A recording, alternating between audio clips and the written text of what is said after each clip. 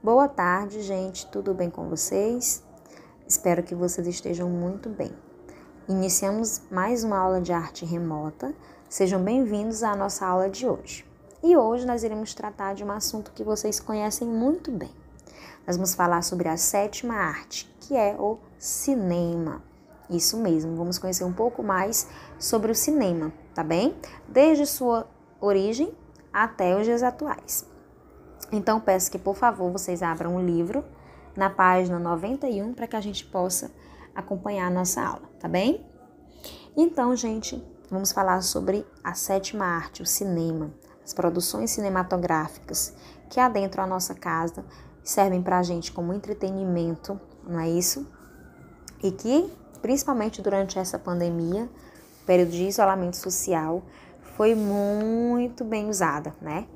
Então a gente fala muito de arte e a gente precisa valorizar as pessoas que trabalham com o fazer artístico, né, que produzem os filmes, para que a gente possa ter, sim, meios para se entreter enquanto estamos em casa, certo? Ou no shopping, no cinema, quando for tudo liberado, tá bem?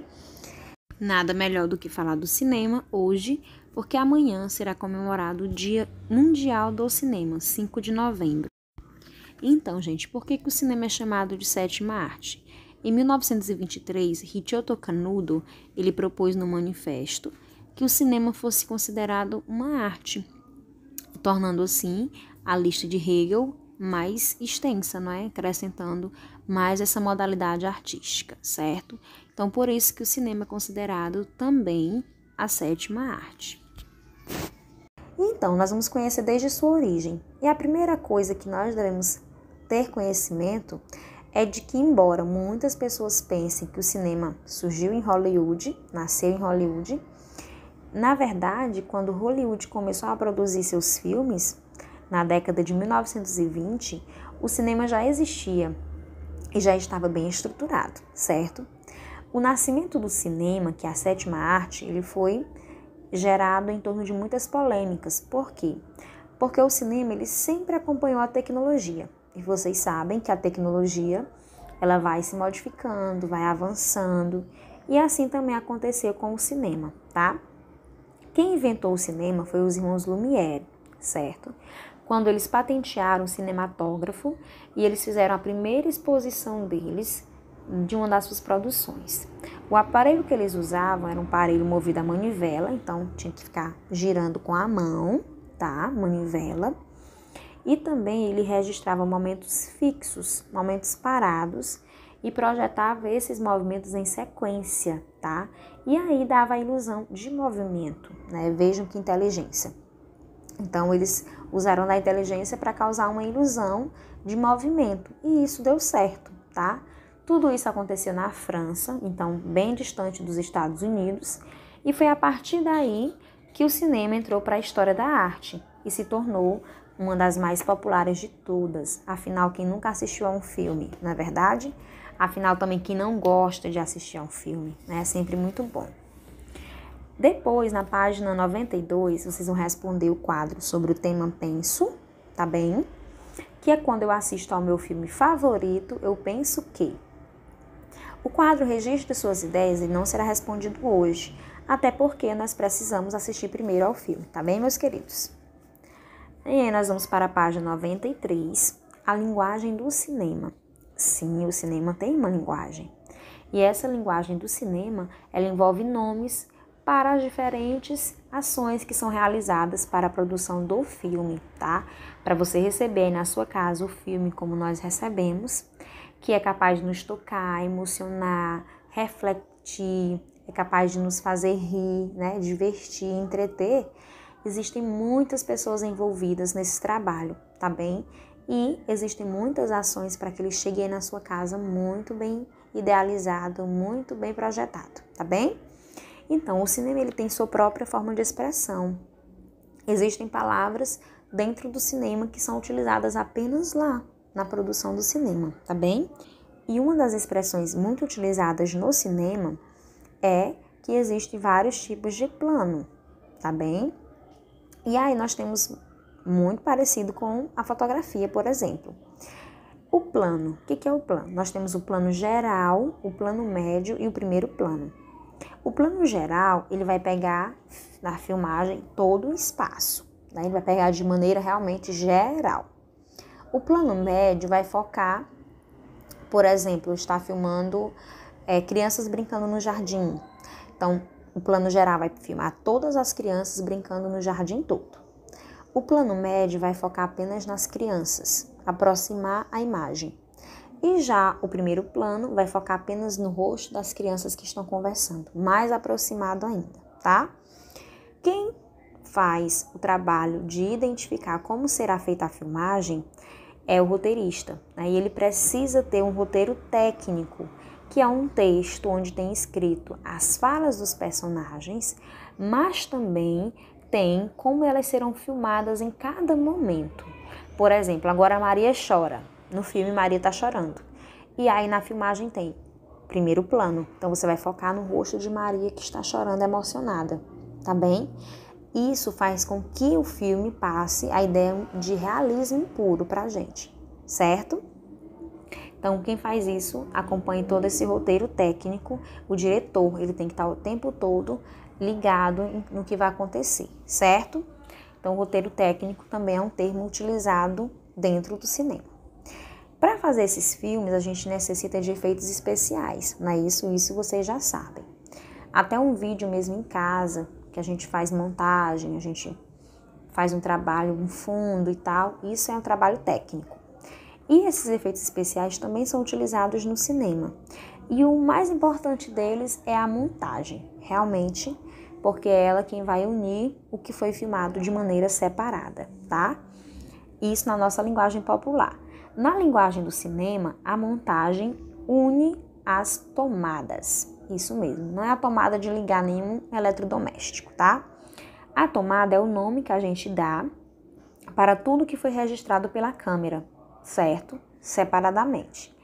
Então, por exemplo, primeiro eu filmei Maria discutindo com sua amiga. Fiz uma tomada. Desliguei a câmera. Agora eu vou filmar Maria chorando, desesperada no quarto dela porque brigou com a amiga. Outra tomada, não é isso?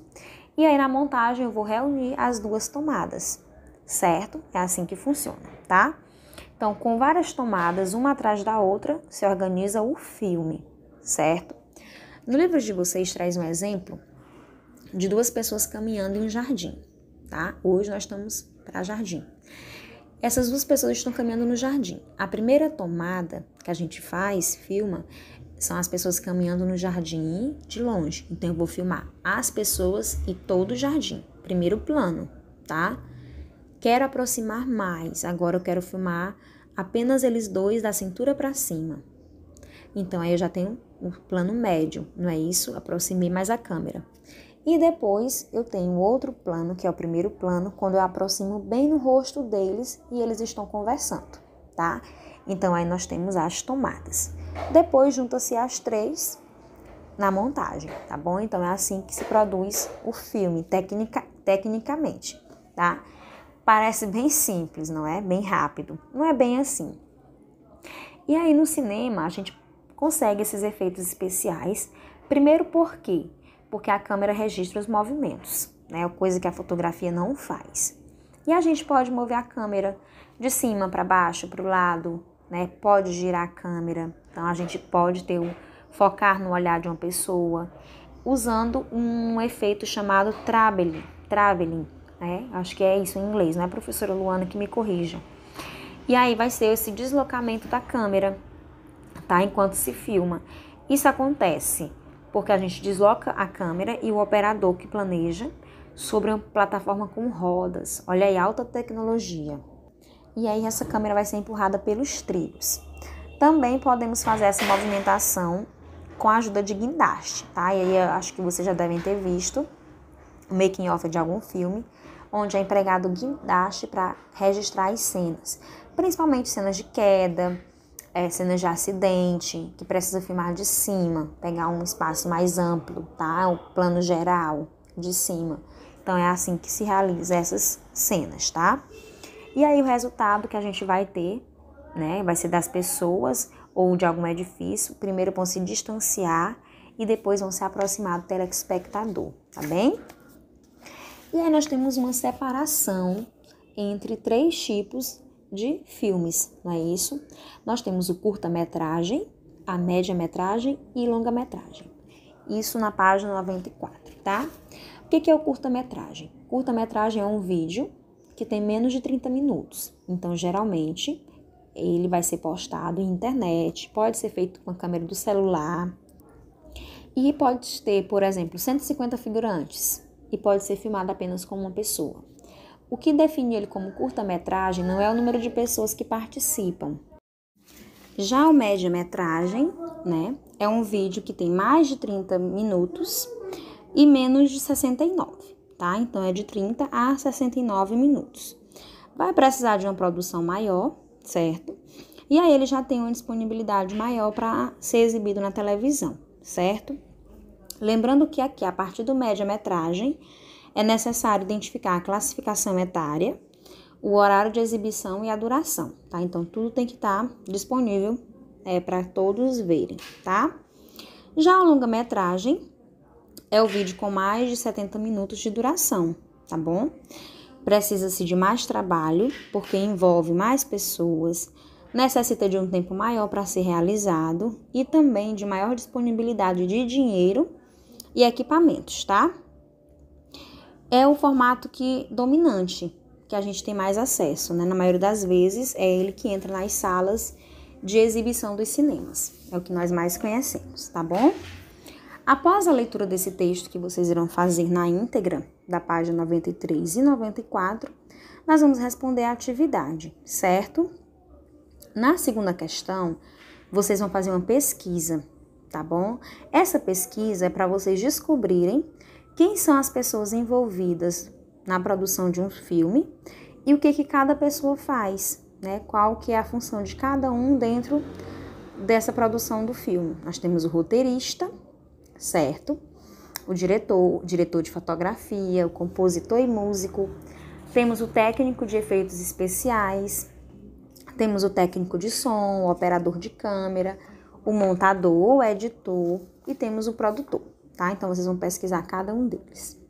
A terceira questão você vai escrever, né? Depois que você entendeu a função de cada pessoa dentro do, da produção de um filme, você vai escrever aquele filme que mais te impressionou e justificar por quê, tá bem? E aí nós vamos para os fenômenos tecnológicos mais impressionantes para o surgimento do cinema, página 96. Então, gente, um dos fenômenos tecnológicos mais impressionantes da história é a capacidade da gente capturar uma imagem em movimento, tá? Realizar a produção de uma imagem que não é estática, que não é parada, como é o caso da fotografia, né? Que é uma imagem estática. E aqui nós temos como primeira criação, né? Para captura de imagem em movimento, foi na, foi na década de 1889 com a criação do cinetoscópio por William Dixon, que era assistente do cientista e inventor norte-americano Thomas Edison, que foi quem criou a lâmpada elétrica incandescente, e tantos outros inventos, tá? Esse invento e os modelos que lhe sucederam na década contribuíram muito para o desenvolvimento do cinema, como a gente vê hoje, né? Contribuiu muito para a arte cinematográfica. Então a gente pode afirmar que o cinema teve origem no cinescópio, né? Não projetava imagens em telões, tá? O que, que acontecia? Como que o espectador ele poderia ver o filme? Ele ficava observando o filme durante um tempo limite de 15 minutos, as imagens no interior de uma câmera escura, por meio de uma abertura, em que eles posicionavam um dos olhos. E aí eles tinham uma experiência visual proporcionada pelo cinetoscópio que era feita individualmente, né? Então, cada pessoa ia lá e assistia até 15 minutos, depois outra pessoa. Como Thomas Edison não chegou a patentear este invento, abriu portas para que outros inventores aperfeiçoassem o modelo mais tarde. Em 1892, Léon Boulle, que era um francês, ele fez o que? Ele pegou parte do cinetoscópio e desenvolveu um cinematógrafo, que era um modelo mais avançado, né? E conseguir gravar e projetar a luz das imagens movimento em uma tela, em quadros por segundo. Então ele já conseguiu projetar. Só que Bowley, ele não tinha dinheiro para registrar essa patente do invento. Então o cinematógrafo acabou sendo patenteado pelos irmãos Lumière, que passaram a partir de 1895 a fazer várias produções cinematográficas de pequena capacidade e exibi-las em sessões especiais. Então vejam só, Bowley ele conseguiu avançar o cinetoscópio e desenvolver o cinematógrafo, porém, como ele não tinha dinheiro para patentear o modelo criado por ele, os irmãos Lumière fazem isso, não é isso? E aí a primeira exibição de filme feito pelos irmãos Lumière foi em 22 de março de 1895, né, com o filme A Saída da Fábrica Lumière. Registrava a saída dos funcionários da empresa na França. E foi eles também que começaram as primeiras direções cênicas para o cinema, tá? Então o cinematógrafo ele passou a registrar e a partir daí o cinematógrafo ele passou a registrar além das cenas do cotidiano, as cenas dramáticas que eram elaboradas com um nível de teatralidade, não é isso? Então aí começa assim, agora então trabalhar para a produção cênica.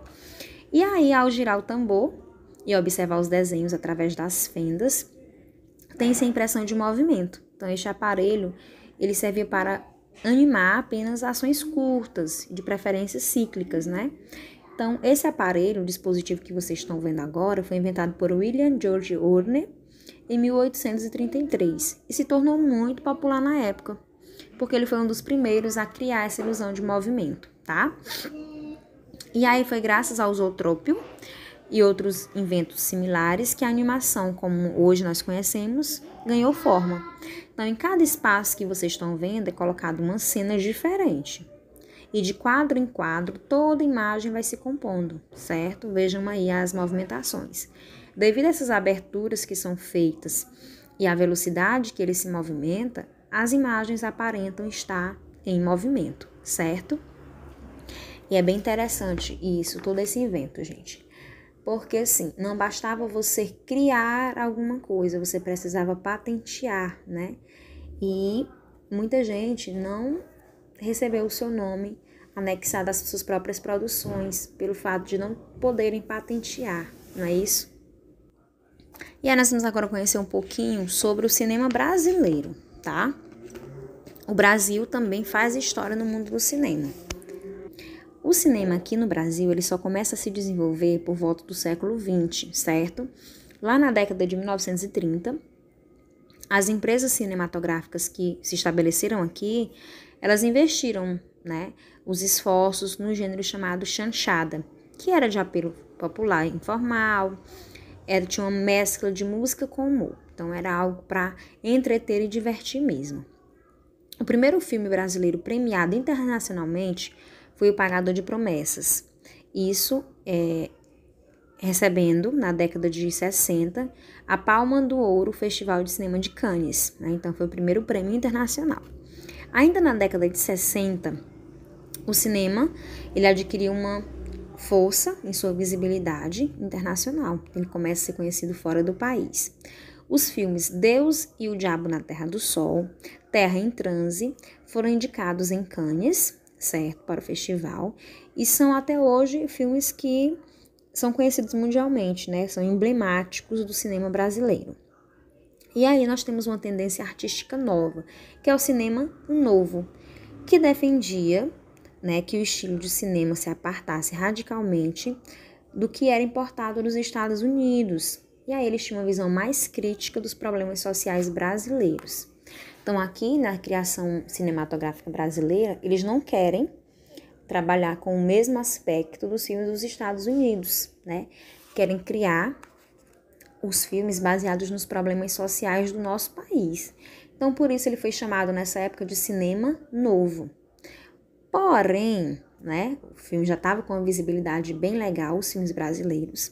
Entre a década de 70 e 80, o cinema nacional, né, o cinema do nosso país, ele sofreu uma grande turbulência.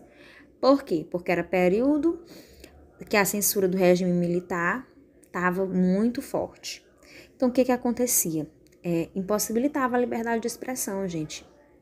E aí, como eles iam tratar dos problemas sociais nos filmes, a censura cortava logo, né? Não deixava que as produções fossem produzidas com a qualidade e fossem também levadas para a população.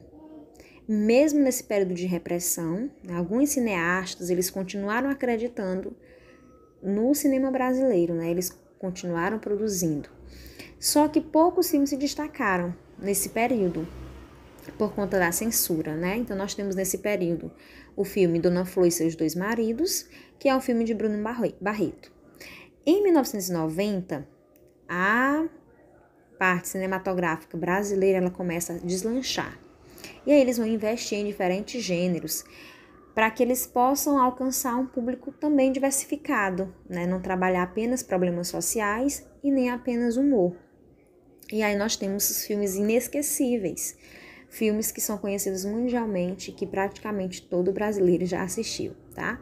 Nós temos Central do Brasil, de 1998, temos O Alto da Compadecida, que vocês também devem conhecer, de 2000, nós temos Cidade de Deus, de 2002, nós temos Carandiru, em 2003, nós temos Narradores de Javé, temos Deus é Brasileiro, certo? E temos Tropa de Elite em 2007. Então, esses filmes são filmes que são emblemáticos a partir da década de 90. Né? Como eu disse, até então, na década de 70 e 80, o cinema brasileiro teve uma queda altíssima por conta da repressão, a liberdade de expressão, né? Ditadura militar, então todo mundo impossibilitado de expressar suas emoções, seus sentimentos, seus ideais. Então, aí uma fase bem difícil para a arte aqui no Brasil, tá? Mas mesmo assim, a gente sabe que a arte ele é um meio, sim, de denúncia social, de luta social, eles continuam produzindo. E a partir de 90 até hoje, nós temos filmes brasileiros que são muito conhecidos, que já receberam prêmios importantes, não é? E nós temos filmes brasileiros com diversos gêneros, tá? não apenas para divertir, humor, não. Apesar de que o Brasil, ele tem muitos atores que atuam em filmes internacionais, né, desde sempre, tá? E aí vocês vão realizar a atividade de pesquisa. Vocês vão pesquisar agora os filmes brasileiros que já participaram de festivais de cinema ao redor do mundo. Vocês vão procurar por críticas, prêmios, profissionais envolvidos. E a partir das imagens, recorte de revista, você pode é, imprimir. Represente o resultado da sua pesquisa com uma colagem no caderno. Então, vocês vão colar no caderno de vocês uma imagem referente ao filme que vocês encontraram, escrever quem são os profissionais envolvidos, né? Diretor, os atores e tal. Não precisa ser todos os atores, né? Claro que a gente vai colocar aqui os é, principais, os protagonistas o prêmio que eles ganharam, né, que, que eles venceram, e alguma crítica, alguma algo que foi dito e que é dito ainda hoje sobre o filme que você encontrou, certo? E aí nós encerramos aqui a nossa aula de arte de hoje, falando um pouco sobre o cinema. Então a gente fez uma linha do tempo, de onde surgiu o cinema, como surgiu e como o cinema brasileiro vem alavancando cada dia mais, tá? Até porque nós temos aí uma grande evolução das produções do nosso país, certo, queridos? Boa tarde, boa atividade para vocês e até a nossa próxima aula.